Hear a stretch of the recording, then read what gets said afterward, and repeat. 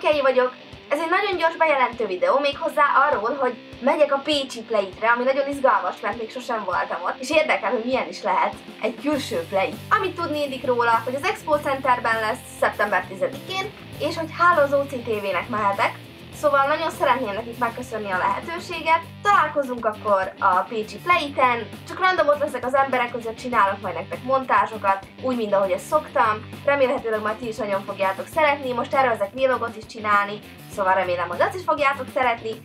És ja, ennyit szerettem volna, addig is várjátok a következő videót, lesz még pár szeptember 10-ig, ha minden igaz. Találkozunk a Playten. Sziasztok!